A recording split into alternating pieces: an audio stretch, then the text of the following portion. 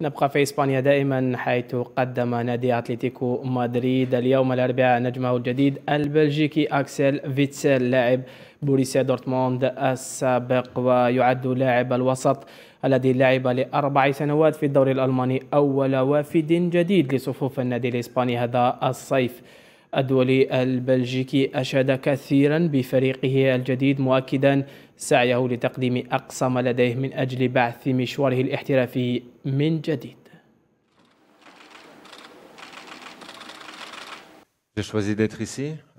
نعم كنت حرا وغير مرتبط بعقد. واخترت أتلتيكو مدريد لأنني أرغب في اللعب في مستوى أعلى.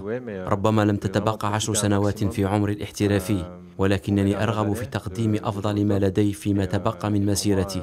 أرغب في اللعب في أعلى مستوى في السنوات المتبقية. لذا فإن أتلتيكو مدريد يناسبني ولهذا السبب. أنا هنا اليوم. لقد لعبت في بلدان مختلفة ومع أندية مختلفة. لقد تدربت مع زملائي خلال الأيام الماضية. وأعتقد أن هذا النادي هو الأكثر تميزا بين النوادي.